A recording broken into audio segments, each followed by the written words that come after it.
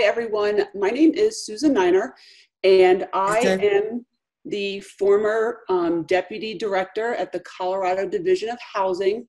Um, just to share a little bit with you about my history, um, I worked at um, both a um, the ARC of New Jersey, um, working with individuals with intellectual and developmental disabilities. Um, after that, I had a position at a community mental health center here in Colorado at Pikes Peak Mental Health Center, where I ran um, the housing program there. Um, after that, I moved to the state um, and worked with the state of Colorado for over 20 years, um, primarily in their assisted housing program. So my my core knowledge is really about um, Section 8 public housing, um, types of housing that, uh, that have rental assistance, um, and then primarily um, both the HUD programs and the state programs. Um, did that for, I gosh, I think it was 24 years and recently retired. Um, so I've been retired for about a year and a half now and doing um, whatever I can with CCDC whenever I can. so I think before I get started, I will um, do a shout out to the Division of Housing, who um, certainly helped me um, as I put together some of the, these resources. I reached out to them, so I want to make sure to thank them for their help. Um, and I think what we're going to do today is going to be really surface, really generic. Um, talk a little bit about some housing resources, make sure we we all kind of understand the same language um, delve a little bit into the COVID 19 resources, and then spend a few minutes talking about reasonable accommodation. Um, that's always important, but it's super important now given um, everything that's going on with the COVID 19 and the, you know, things being closed and not having access to different things. And so I want to touch a little bit on what reasonable accommodation is, just so folks are thinking as they're going through their life and as they're experiencing mandates from their landlords and different things, um, how they might be able to um, ask for assistance or ask for different things. So hopefully um, that tells you a little bit about me and what we're going to do today. I would love for this to be as interactive as possible. And so um, I'm going to just say, ask me any questions you have whenever you have them. Um, I'm a talker, as you can tell, so I'll be happy to fill the space. Um, if if you are not, um, I am going to. Um, we'll just jump in. Um, so, I think um, a lot of when you're out searching for housing, you're wondering what kind of housing is available to you. Um, we have to be really careful the language we use. So a lot of people will say, for example, I want a Section 8. I need Section 8 because I need help paying for my rent. Well, Section 8 absolutely is a great program and it does help you pay part of your rent. But there are a lot of other programs that are equally as good that can also help you pay your rent. So um, I just wanted to kind of talk through each one of these today. Make sure that you know about them. Um, again, feel free to ask any questions that you might have. Um, first one's public housing. So, public housing is kind of what we all think of when we think 20, 30 years ago, the big high rises, the projects. Um, they're sometimes called public housing is project based housing. So it's going to be housing um, where you only get the rental assistance as long as you live in that particular building, in that particular apartment. If you move, you don't get the rental assistance. So in that case, the rental assistance is attached directly to a specific unit in a specific building in a specific neighborhood. Um, so that might not be the neighborhood you want might want to live in. It might not be the best unit although some public housing units are great um, especially here in colorado. We're really rebuilding and refreshing and, and a lot of the public housing units are are, are quite nice and quite new. Um, but i always say get in the door get in the door, get some rental assistance, get some stability with your finances, and then you can always look for other programs, assuming that maybe public housing might be the only option available to you at that moment.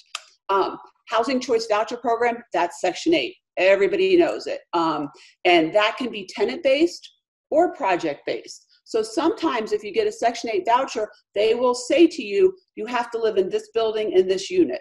You just have to. Um, in other cases, you'll be given a voucher that you can take out into the community, any community you'd like, with any landlord that's willing to accept it. So um, uh, uh two different ways you can get Section 8. Um, the next is project-based housing, so things like 811 program, 202 program. So the 811 program is again a project base. So again, you're only going to get that subsidy when you live in that particular building in that particular apartment. Um, 811 is for um, individuals with disabilities. And the 202 program is um, primarily for seniors, although I also think um, persons with disabilities um, are, are eligible um, for 202 units. Um, continuum of care funding, that is funding that comes from HUD, but kind of comes under the homeless umbrella. So you've got like the rental assistance umbrella from HUD, where all there's all kinds of programs under that. And then you've got this other umbrella, which is the continuum of care funding, which is homeless programs. So if you are an individual who's experiencing homelessness, you might want to um, really look into those continuum of care dollars. Um, and, and at some point we could probably do a whole webinar on continuum of care funding and how to access it. I'm just kind of, like I said, doing a, a surface look at things today. Um, something I want to bring your attention to is state housing vouchers. Um, so the state of Colorado funds the D Colorado Division of Housing to um, provide rental assistance that very much mirrors Section 8. So again, it can be tenant-based, it can be project-based, um, but the funding comes from the state rather than from HUD. Um, I think the thing that's important here um, when you look at all of these different types of rental assistance is where do I go to get them? Um, so you, we have in the state of Colorado and across the country what are called public housing authorities. So um, most city, most counties, some cities and counties. So for example, there is, let's take Jefferson County, because I think that's a really good example. If you live in Jefferson County, there's a Jefferson County Housing Authority. There is the Arvada Housing Authority. There is the West Metro Housing Authority. Um, and so you, and then there's the division of housing that is across the whole state. So there are lots and lots of public housing authorities all of which have some or all of these um, programs. If you are a person with a disability and you are connected to services through a community mental health center or through a community center board um, or, or some other homeless providers, um, you may have access to the Colorado Division of Housing's housing programs. So, for example, let's say I'm a client of the Mental Health Center of Denver. Um, the Mental Health Center of Denver is a contractor for the Department of, uh, for the Division of Housing. And so you really want to ask, where's the housing office? Go to that housing office, speak to them. Um, and before I move on, just something even more general from this picture, we have all of these different programs. So if you were to call a housing authority and say, is your Section 8 list open? My fear is they're going to tell you no, but their public housing list might be open or they may have some state housing vouchers. So when you're calling, when you're looking for housing, use a more general term. Say um, that you're looking for rental assistance.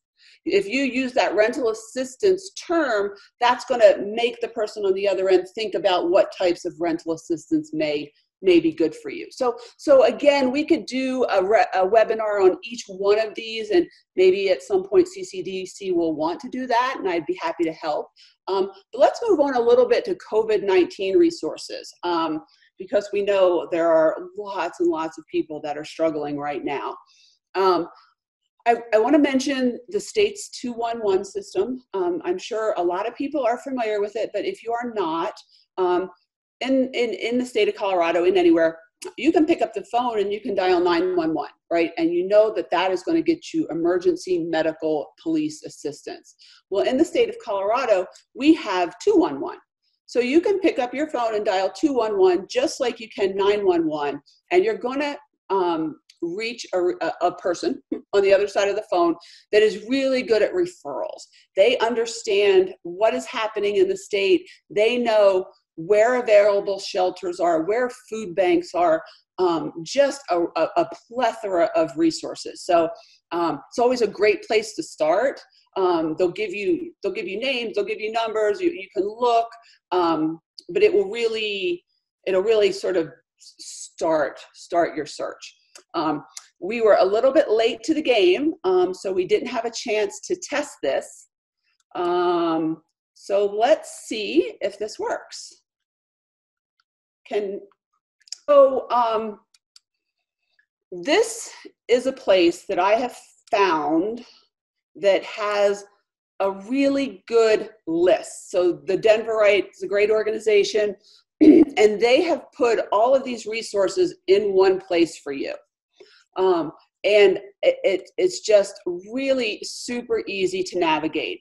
Um, so, f- for example, the Division of Housing. So I've talked a lot about the Division of Housing. I used to work for the Division of Housing. Um, they have set aside, I believe it is $3 million to help with emergency rental assistance. And if you click on that link in the, um, if you click on the link in that article, it, it brings up your state of Colorado eviction prevention program. And so literally you can type in your address. So let's say we live in Grand Junction. The map is going to take us to Grand Junction and they're going to tell you exactly where to go in Grand Junction to get assistance. So you'll see on the left hand side local programs, Grand Valley Catholic Outreach, um, and then also Brothers Redevelopment and the Salvation Army. So if you live in, in um, Grand County, in Grand Junction, there are three organizations that can possibly help you with rental assistance. And so you can do that for the entire state. So I think that is a great resource. Um, in this article, they also list um, other, uh, um, sorry, other resources um, for rental assistance. So, and, and this was put together by the Apartment Association. So, a great list. You see the Department of Local Affairs, Community Resources, different nonprofits that, that have programs. So, um, again, just a lot of really great resources. Um, if you live specifically in the city and county of Denver, um, you should be contacting 311 instead of 211. 311 is the Denver um, line. Um, and you're going to want to access their TRUA program, T R U A, which stands for Temporary Rental and Utility Assistance Program. So, um, if you live in the city and county of Denver, you have um, yet another resource that may not be available to someone um, that doesn't live in in Denver. Um, there are different human services. The 211 site that I spoke to earlier, there's a link there. Um, so you can access um, for your specific zip code for your city. Um, as you'll see here, they have a COVID 19 pandemic link. They have crisis and emergency link that you can click on. Um, so, so just uh, an absolute um, wealth of information can be found there. So um, the you can probably um, do a simple search for the Denverite on resources for tenants struggling to pay the rent, and you'll get the story. Um, or um, as you can see, um, I have the um, link here in the PowerPoint, which I assume we will get um, linked out when this goes out online. So everybody will be able to see um, that specific link. Um, lastly, before I, I, leave this slide, um, I wanted to click here if you are a home owner and are in need of um, assistance paying your mortgage. Let's see if I can get to the top of this article. Um, these are all of America's banks and what they're doing in response. So, right, if your First State Bank is your mortgage holder, here's what they're going to do for you. Um, let's see, I think my mortgage is through Wells Fargo. So if I click on the W, um, boom, there's Wells Fargo, and there are all the, the resources that are accessible to me as a mortgage holder through Wells Fargo. Um, so again, lots and lots of great information and hopefully um, information that you will find helpful. Um, another thing I wanted to touch on is water, power, and utilities. So um, Xcel and, and many, I won't say all, but many of the other states um, utility companies have agreed to the following. No service cutoffs for late or missed payments, no reconnection fees, no fees related to late payments, reconnecting services for customers, excuse me, that have been recently disconnected, they're offering low income payment assistance programs and launching a medical exemption policy. So um, there's a lot happening. There's a lot going on. And so I think if, if you are a person that needs help, um, reach out. There, there really is um, a, a, lot of resources out there. Um, so that's, that's sort of um, what I have for the COVID resources. Um, let's talk a little bit the, for the last piece of the COVID resources. If you are lucky enough um, to have one of these um, rental assistance programs under HUD that helps you pay your rent, um, I can't believe I'm going to say these words, but I am. HUD is making everything easier. 25 years of doing HUD programs, I don't think that has ever come out of my mouth they uh, hands off and uh, congratulations because HUD has really embraced this pretty quickly for HUD, right? Like it didn't come out until this week, but that's still pretty quick for HUD, HUD time. Um, what are they going to do? So they are offering waivers. So HUD is exercising their authority to provide PHAs with flexibility to adjust program practices where necessary to prior, prioritize mission critical functions when normal operations are restricted. Blah, blah, blah. So, what they're saying is, we get it. We get that it's really uncomfortable for, or uncomfortable for you to get us maybe, well, let's just go to the next slide. Oh, let me go back here.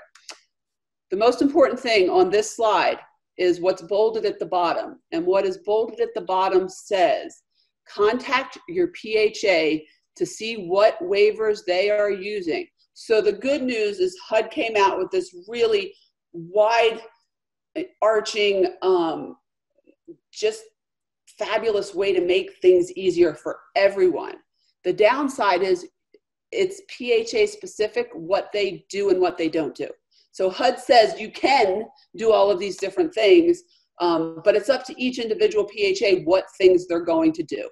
Um, so that that could be that could be um, a negative. Um, if you are lucky enough to have a voucher from the Colorado Division of Housing, my former employer, um, I know that they are enacting all.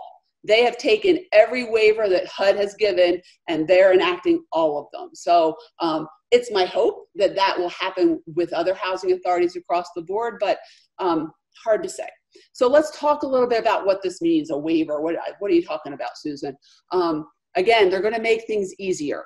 So the first thing they're gonna make easier is the income verification process. So um, Section 8, all of these different rental assistance programs, they're federal programs, they're bureaucratic, they require a lot.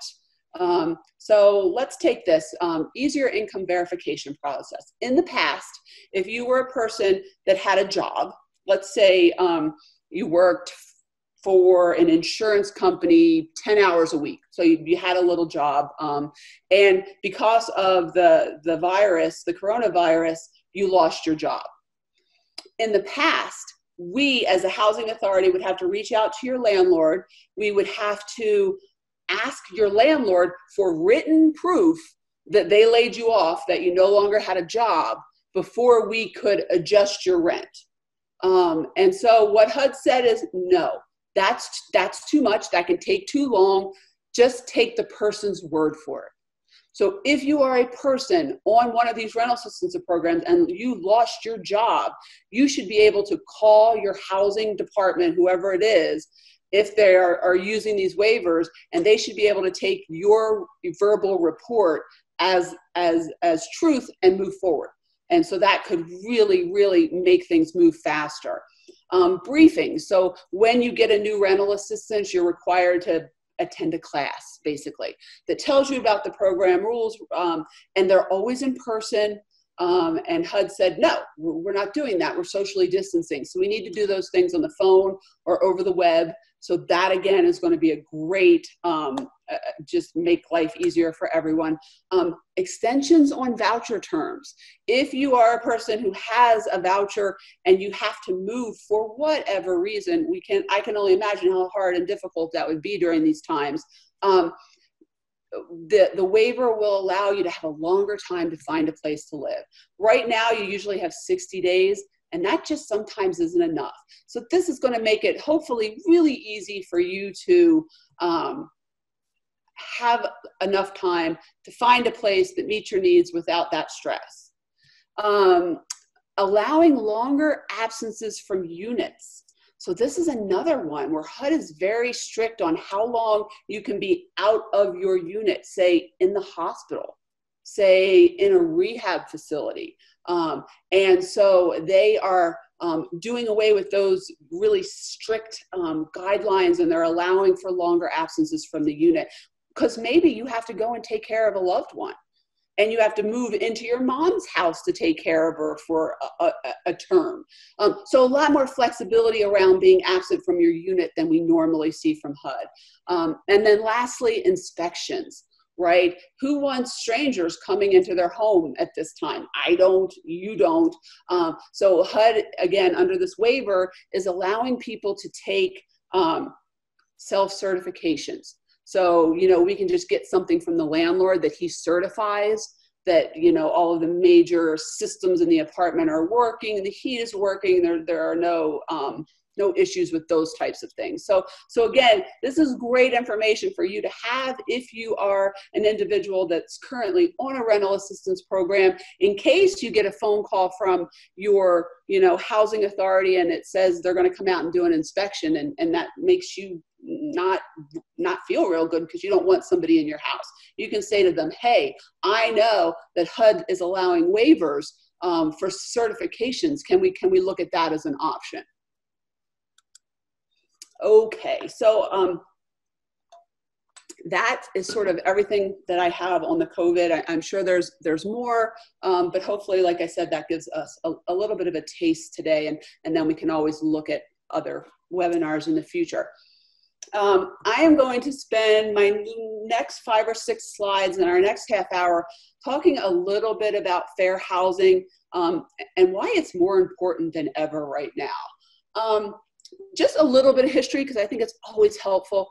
Fair the Fair Housing Act was passed in 1968, which feels like a long time ago, especially depending how old you are.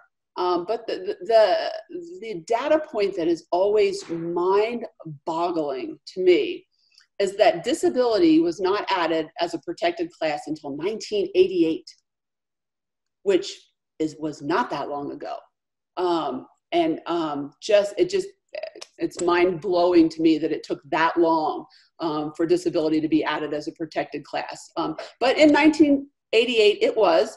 And then in addition, in 1988, um, HUD was given the power to investigate and enforce the act. So in 1968, HUD came up with this great Fair Housing Act, or HUD, they came up with this Fair Housing Act that had no teeth. There was, it didn't matter if people did what they were supposed to do, didn't do what they were supposed to do. There was no, there was no teeth behind it. So in 1988, um, it, it, it labeled disability as a protected class. And then in addition, it gave HUD the authority to investigate and enforce the act. Um, so that's important. Um, what does the act do? So again, I just want to review some of this and then we'll get into the, the nuts and bolts. Um, Title 8 makes it unlawful to refuse to make a reasonable accommodation for a person with a disability. So we're going to spend the rest of our time talking about that. So I'll just go past that for now. The second bullet reads, refuse to permit reasonable modifications for persons with disabilities. Um, so that is um, an individual may use a wheelchair and need a ramp Um, and, and this bullet and this part of the Fair Housing Housing Act says the landlord's got to let that happen, right? That that's requ- a requirement. Um, and then the last bullet on this slide reads failure to design and construct accessible, adaptable housing after March of 1991. So again, um, 1991, I don't know why it took so long, but at least it, from 1991 forward, buildings need to have ramps and, and automatic doors and, and everything that makes that building accessible to folks. So um, that's what the act did. As I said, we're going to do some um, reasonable accommodation time. Um, and so I hate this word. It's a big word. I think it's um, a word that um, a lot of times professionals in the professional world that are required to to do reasonable accommodations know what the word is. Um, but if i am just a tenant and i need my landlord to do something for me i don't know that i would ever think of the word reasonable accommodation. Um, so when i do trainings with with folks and and and um, if i'm in front of a, a bunch of landlords or i'm in, in front of a housing authority i'm always really clear to, to remind them of that, that, that, that the tenant is going to come in and they're going to make a request and they're probably not going to use reasonable, I want a reasonable accommodation. They may, and if they do, they're well educated and then that's great. But I want to make sure that landlords and housing authorities are listening with the right ear to hear, wow, this person just put a reasonable accommodation request in front of me without ever using the words. Um, so, what is a reasonable accommodation? The Fair Housing Act makes it unlawful to refuse to make reasonable accommodations in rules, policies, practices, or services when such accommodations may be necessary to afford a disabled person equal opportunity to use and enjoy a dwelling. So here's the important part of this. It, it requires, let's say a landlord, it requires a landlord to make a reasonable accommodation in rules, policies, practices, or services. So that is the landlord's rules, the landlord's policies, the landlord's practices. Um, and so a lot of times landlords will say, well, this is the rule. Well, who, who made that rule? You made that rule. It, it, it's not like this, you know, government rule. It's a rule that you made for your apartment complex. And I'm going to ask you, um, to make uh, a change in your rule so that I can better access your property. Um, so hopefully that um, that comes together. Um, why is reasonable accommodation so important? It's the law. Um, so I love this next bullet because if I could count how many times I had a landlord say to me, I can't do that. I have to treat everyone the same. If I do that for your person, then I'm, I'm breaking fair housing. So um, again, I've educated a lot of landlords in my 20 plus years. Um, keep in mind, it's okay and actually required for landlords to treat people with disabilities differently under reasonable accommodation. Um, I'll describe the picture. Um, so, so what we're looking at on this next slide is a picture. And there are three pictures on the slide. Um, and it's, the, it's titled Equality versus Equity. Um, so it's really interesting, um, I think, a really interesting visual. So again, it's titled Equality versus Equity. It has three pictures. In the first picture, it's, um, there are three boys of varying heights um, and they're all given a box that's the exact, exact same size to stand on. So in the first image, it's assumed that everyone will be benefit from the same supports. Everyone is being treated equally. So again, they're different heights. They were all given the same box. So in the end, um, only the tallest um, are able to see over the fence. Sorry, I, I, mentioned that there's a fence there. So there's a fence. The boys have varying heights, and they were all given the same box, right? So it doesn't work for, for the, the shortest uh, kid. Um, in the second Im- image, the individuals are given different supports to make it possible for them to have equal access to the game. They are being treated equitably. So in this picture, the tallest person can easily see over the fence and they don't need assistance. Um, the next tallest boy is able to see over the fence to see the game with one box, and the shorter child needs two boxes to see the game. So everybody's being treated equitably. Um, the third image is certainly the one that we wish um, and, and, is the best outcome always. Um, all three kids can see the game without any supports or accommodations because the cause of the inequity, the fence, was addressed. The systematic barrier was removed. So instead of a wooden fence, there's now a chain link fence that doesn't matter how tall you are, you're able to see through it. So I, I just always like this visualization. It helps me understand equity versus equality. And um, so, okay, let's talk about reasonable accommodations um, and what are the required elements for reasonable accommodation? Again, Dawn and I have done classes on reasonable accommodation where we've spent hours talking about it. And so we're only going to spend about 15 minutes today. Again, doesn't mean we can't do something at a, at a later date. But um, required elements of a reasonable accommodation. There has to be a clearly stated disability. So the first thing I get when I say that is people go, I don't have to tell people what my disability is. Well, yes, you do in this instance. If you are asking for a reasonable accommodation, you need to divulge your disability, um, and then you need to clearly state the accommodation that you're requesting, and there has to be a link between the two. So that's why they need to know that. So, um, and then the, the, the, last bullet says provide supportive medical documentation. Um, so yes your landlord can ask what your disability is and yes they can ask for proof basically. They can't ask for a lot. Doesn't have to be super detailed. Um, your physician can just say so so let me let me walk through a couple kind of examples maybe here. Um, so i am a person um, that uses a wheelchair. So i would very clearly state that my disability is a mobility impairment um, and the accommodation I'm requesting is, um, let, us say, let's say, um, let's just say a ramp because that's easy. Um, so uh, I take that back. I'm a person that uses a wheelchair. I have a mobility impairment. I can easily prove that to my landlord. Um, and I am requesting an emotional support animal.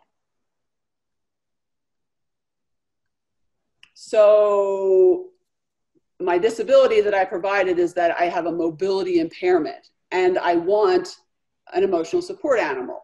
Have I clearly linked the disability to the accommodation requested? Probably not, because I didn't put forth an emotional disability, related disability. I put a physical disability.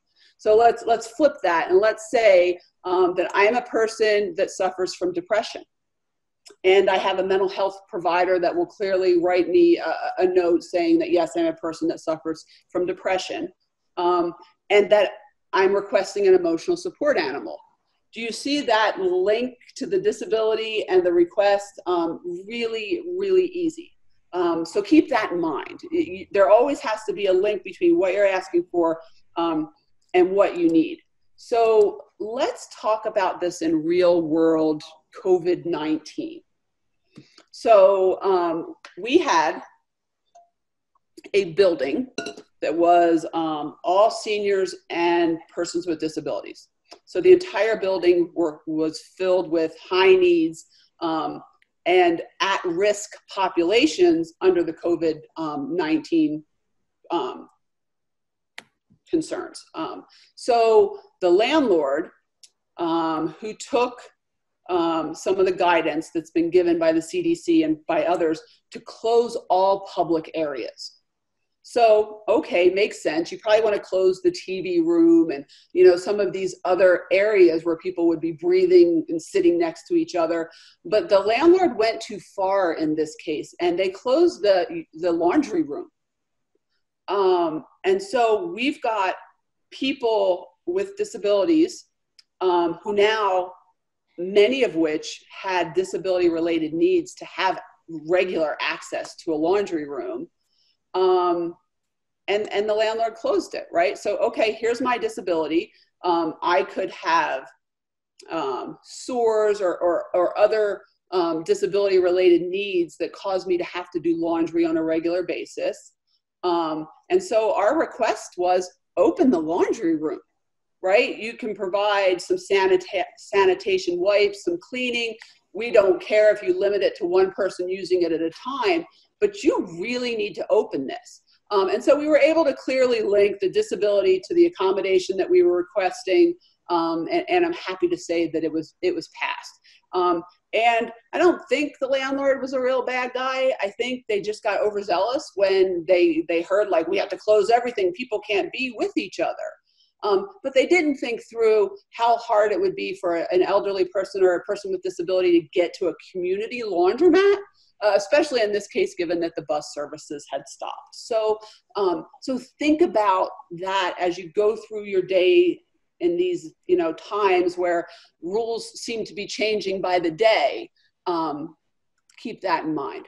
Um, some other common reasonable accommodation requests that we see um, the number one that everybody likes to talk about is um, waiving a no pets policy to allow a service or a companion animal. If you are a person with a disability, and if you can link your disability to why you need that service or companion animal, um, then it's no longer a pet, it's a medical device, um, and therefore you can't be charged pet rent, you can't be charged a pet deposit. Um, you are, however, responsible for your pet. Any damage your pet does, um, picking up after your pet, all of those types of things. Um, live-in aids, that's something else that we see a lot. If you are lucky enough to have one of these vouchers that help you pay your rent um, and you require live-in aids, someone to live with you to help care for you, um, that voucher can also pay for that individual that's there to help you pay their rent for their room. Um, again, just connect why you need that live-in aid, what's your disability. Um, additional bedroom for medical equipment. Um, this is definitely something that is possible. Sometimes people have big um, hospital beds um, and other things that make it um, that they really need an extra room for their medical equipment. Something we see a lot is an assigned parking space. If you have a mobility impairment, you can ask your landlord to give you a specific parking space and that specific parking space is for you. It has to be signed for the resident in room 101 um, so you can get a really specific um, parking place if, if, if that's if you have that disability related need. Um, extensions on times to locate units we talked about that. Um, exception utilities this is something i don't think that's used enough i know that if you are running an oxygen machine 24 7 uh, or running some of these other medical machines, um, your utilities can really be increased. And so, know that this is uh, an ask that you can make of your housing authority for them to make an exception and provide you with a, a larger um, utility allowance because your medic your machines and your medical needs are really pushing that utility bill up beyond what what they would deem as average. Um, and then another one that's really important is shared housing. Um, again, this is this is um, a situation where if you're a person with a disability and you need to live in a re- roommate situation, which works out really well for a lot of people, um, that is an ask um, that again has to be related to your disability, um, but that you can ask your housing provider to allow you to enter into um, not just a, a, a, regular lease, but a, a lease that had a roommate. Um, okay, let's talk really quickly about when a landlord can say no. I'm going to say hardly ever. Um, so let's walk through these bullets. When can a housing provider deny a reasonable accommodation? First, the request was not made on or on behalf of a person with a disability. So you can ask for a reasonable accommodation yourself. You can have a family member help you. You can have an advocate from the community help you make that request. Doesn't have to always come specifically from the person, it can come on behalf of the person. Um, if there's no disability related need for the accommodation, so again, if you didn't make that connection between this is my disability and this is why I need it, they can say no. Um, or if the accommodation is not reasonable. And there are two bullets under sort of what HUD or what the DOJ or what is reasonable. Um, and if it un- imposes an undue financial or administrative burden. So if it costs too much, or if it's going to be an administrative burden. So um, here's here's a, an example that I always use for this case. If I'm a person that uses a wheelchair, I can't throw my trash away in those huge dumpsters that are in parking lots that have those big lids that need to be. I can't do it. I just can't do it.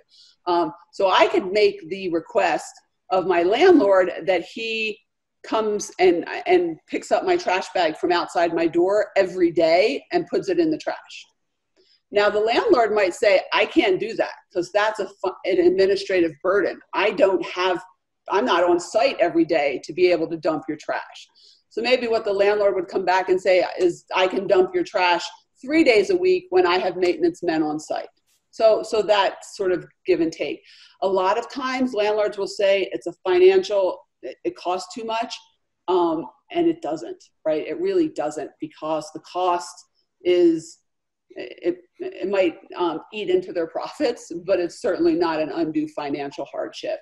Um, and then the last one is it causes a fundamental alteration to their program. So the, the, the, the easiest example here is you ask your landlord um, for a reasonable accommodation to provide transportation to the grocery store. Your landlord can say no because that's not their business. They're not transportation people, and, and so they, they wouldn't do that. Um, and lastly, tenancy of the resident poses a direct threat to the health and safety of other individuals. Um, this is this is a clause that I, I, I often see landlords say, oh well they were they they posed a direct threat. No, they were upset and they might have raised their voice. They did not pose a direct threat. Um, so so that sort of in a nutshell reasons that they can deny. Um, they should never deny your request without sitting down and talking to you, giving you the opportunity to explain what it is you're asking for and what you need. Um, so, so, so keep that in mind. Um, and with that, I know I talk fast. Um, it looks like we have about 10 minutes for questions. Um, and I will look to Angela or Dawn on how to unmute folks and. Can I ask a question while we're waiting for that? Yeah, you sure can. Um, I wanted to ask how, like, I understand that you, for your county, your city, you look up the public housing authority? Like how do you get started to to even get signed up for any of these programs? Well you know it, um, it's not easy. I'm just going to be honest. It's harder than it should be um, because there is no one place that you can access everything.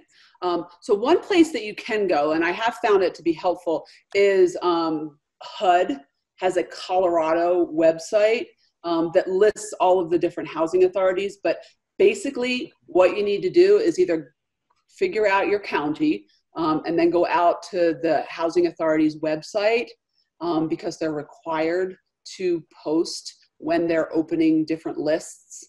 Um, unfortunately, there isn't a way that you automatically get notified.